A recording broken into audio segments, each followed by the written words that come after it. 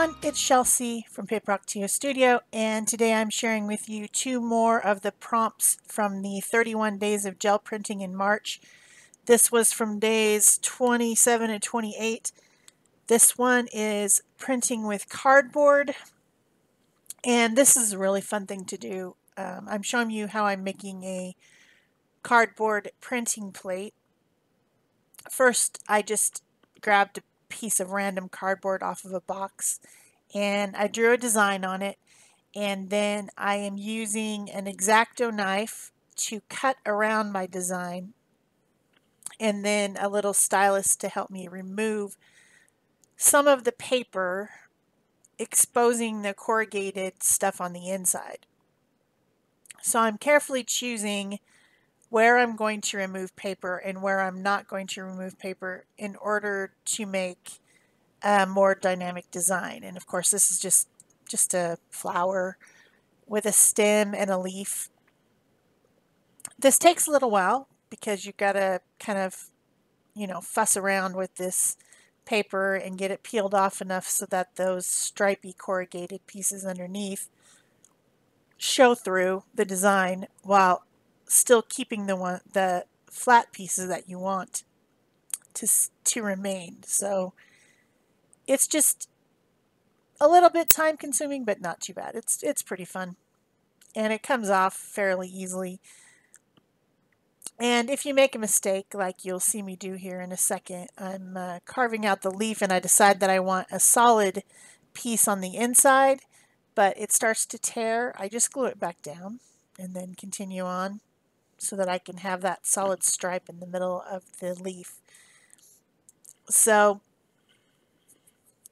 I suggest you all try this. I made several pieces. Um, I don't show the making of each one. This is the only one that I show because it's the same thing over and over, just drawing a pattern and then cutting and removing paper. So I think you can figure it out. This small ball stylus is the easiest thing to help me um, pick up the papers and remove them. And then once everything was removed, then I cut around the edges. Uh, instead of leaving it in a rectangle, I cut a border around the whole flower. Not sure why I did that. It would have been fine leaving it as a square, but I guess I just felt like it. I don't know. So then I'm trying it out on my 6x6 uh, gel plate using some different colors, bright colors. It was, you know, a flower, spring, that whole thing. And as I start to print it, I think, oh, I'm going to put the excess paint from the cardboard onto my bigger plate. It doesn't, a lot of it doesn't come off actually. So I think because the cardboard is a porous material. It probably absorbs quite a bit of the paint as you're doing it. But then I think as the piece is used more and more and more and builds up more acrylic layers on it, because I'm not going to clean it, um, it will it will have more to deposit on the second um, printing there. Because even with this black, not not very much came off even though I went right to the plate. There's a little bit, but not a whole lot. So I found that kind of surprising. So this time I put black on the plate and then I took some brighter colors and an artist sponge and sponged over the areas, depositing the color where I wanted it instead of just rolling it on there with a brayer. And this little print turned out really cute. One of my favorites. Then I just went over the whole backing with some white and printed it to pull up all those layers onto the paper. And it's it's a cute one. I like that combination of black and bright.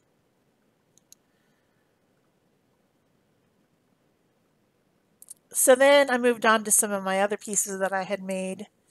This uh, next set, I used uh, corrugated paper.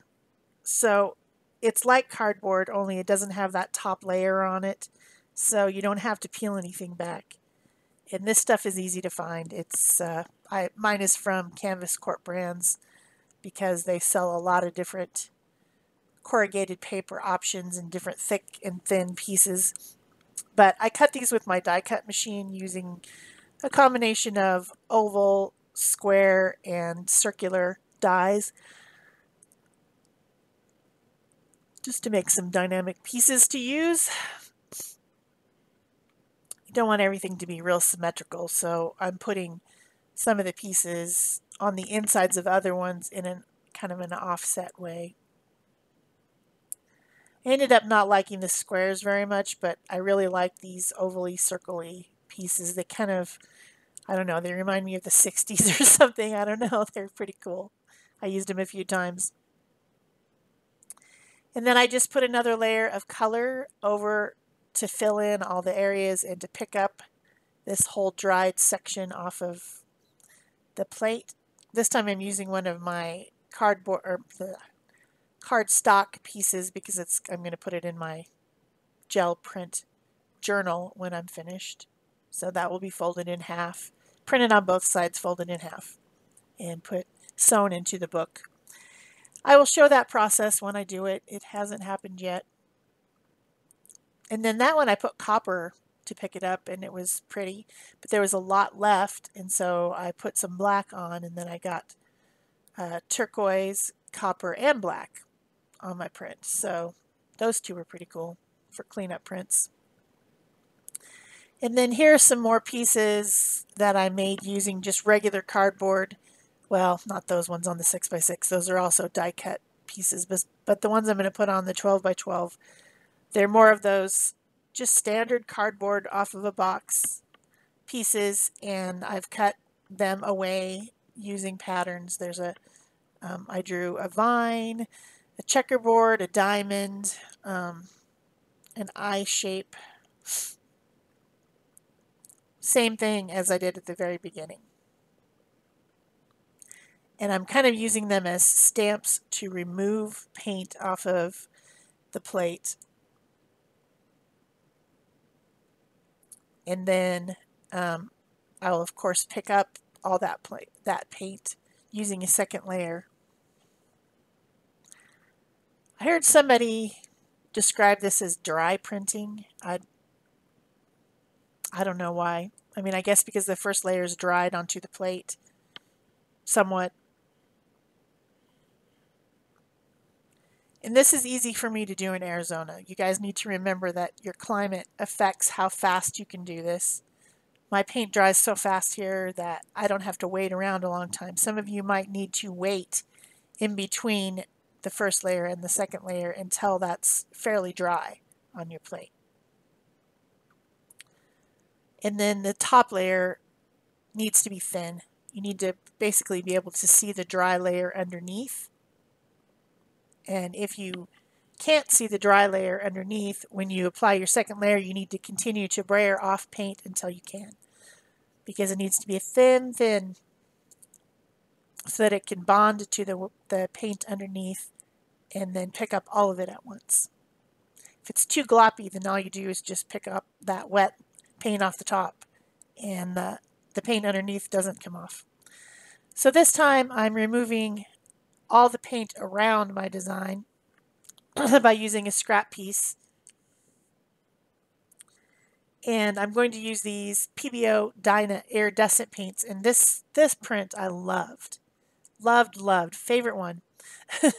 so I'm just putting some of the iridescent paints onto my 6x6 to use it as a palette and I'm using my 2 inch brayer to apply it all around and over the design where I've picked up all the excess, um, it was unbleached titanium paint. And then I even remove all my little pieces and add some of the red. The the links to all these colors of Pebeo will be in the description box below. They have weird names like red blue and blue green and green black and, you know, just strange stuff like that. And the one I'm putting on top is blue black. And then I'm printing it onto black cardstock. So it's got a really dark base layer, which makes a difference in this case. Those iridescent paints are always pretty over black. Isn't that neat? when I pick it up, you'll see that it's shimmery. I like that one. That was my favorite one.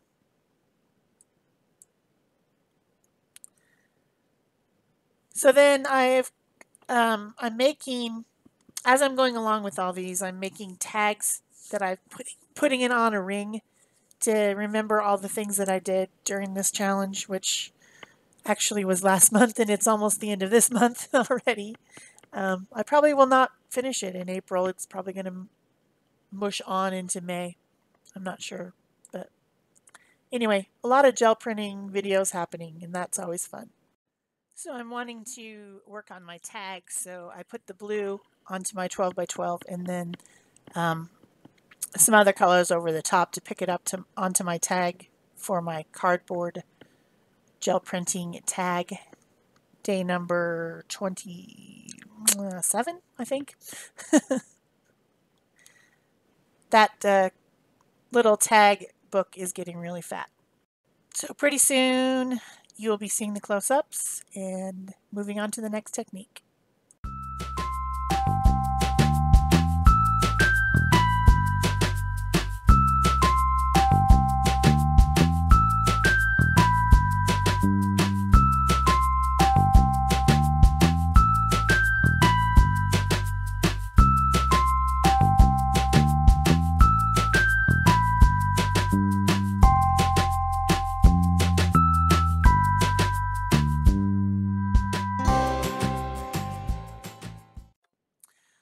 28, the prompt was combs, and obviously Gelli Arts and Gel Press both have a collection of combs that you can purchase. I have one of those around here somewhere, but I couldn't find it. So I am just using styrofoam and plastic from packaging and making my own, just using some decorative shears that I've had around for ages. These things still exist and you can certainly purchase them if you don't have them. They're paper cutting shears that have different designs on the edges. And they've come in handy lately. I've been doing quite a few things. But I'm using big ones and small ones. Um, deckle edge. The type of edge that's like a pinking shear. Then, of course, different sizes of scallops and these will all make different designs on the plate. So when you put the paint on, this is a simple, simple thing to do. It's really, it's just not my favorite thing to do though. I don't love it that much, but it is, it is definitely an interesting technique. And you just drag the comb over the paint to remove it in designs. And you can even use a real comb like that one if you want to. That's just a, uh, my shower comb that I use to comb um, through to comb conditioner through my hair when I'm in the shower sometimes. So I wanted, I didn't want to, um, well, I wanted to use these pieces of paper that have roll off on them.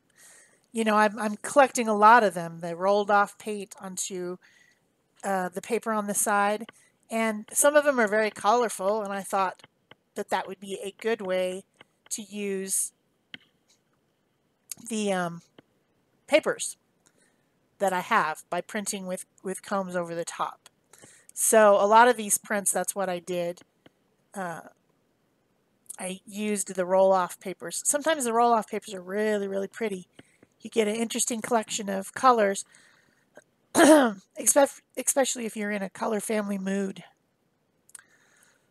like maybe you used all greens or all blues or all cool colors that day. Your roll-off paper might be really pretty and so don't throw that stuff away. You can use it for collages. And in this case, I used it for printing my comb um, prints over the top. Not all of them, but some of them I did.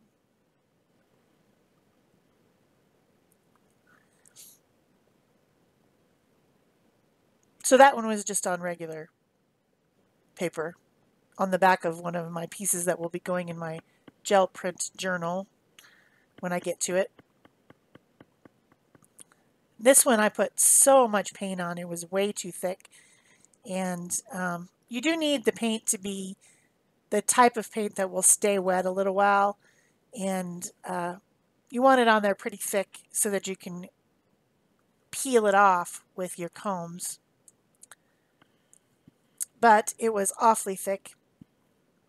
And I made the mistake of using the wrong side of this paper. that has way too much black on it, and that's just ugly. Gross. Yuck. but since there was so much paint on there, I was able to do a second ghost print, and it's really pretty. So I redeemed myself on the second one. that sometimes happens. It happens to the, to the best of us. Uh, we all make ugly prints occasionally, so no worries. And that one picked up the dark paint underneath. It picked up the whole layer, which I thought was kind of interesting, those arced darker pieces underneath. So now I'm moving on to some purple. Why not? And I have this one little piece of plastic that I didn't cut at all. It's like kind of a an arced shape. It was from the top of a packaging to to hold it onto a hook at the store. And I'll show it you it up close. It's clear, so it's hard to see, but it makes a really fun way to do a design. So I'm removing paint with this little comb you just by kind of just spinning it around and and uh, making some flower and leaf shapes. So that was really fun. So I thought, okay, I'll uh, I'll do some sponging over the top, but then I realized that my palette over there on the side was full of paint, so I needed to clean that first. so I made that print with some silver Pebeo. and then I have white, pink, and uh, portrait pink on here, and I'm sponging that over to over the flowers, where the flowery abstract pieces are and then I will roll it with green over the whole thing. I think that's what I did anyway. We'll find out in a second. Yeah, green green for the um, leaves and stems. Have to fill those in. And then that also helps be the cleanup. You know, the whatever, if you want to call it dry printing or whatever. So for this last part, I wanted to show you that you can combine your comb designs with other ways of mark making, like for instance, stencils. You know, we all use stencils on the gel plate. That's probably the most common thing to do. But combining it with um, combed designs as well is interesting. This stencil just happened to be the one that wasn't put away, so that's why I used it, and not really a lot of thought put into it. Um, and it makes interesting prints. So then I just left the stencil on there. It's protecting the area of the combing. And then I'm putting some colors back over it. And it comes out a little bit different.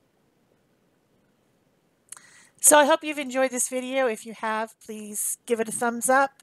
Leave me a comment so I know you are here. Or if you have a question, um, put it down below and I will answer you.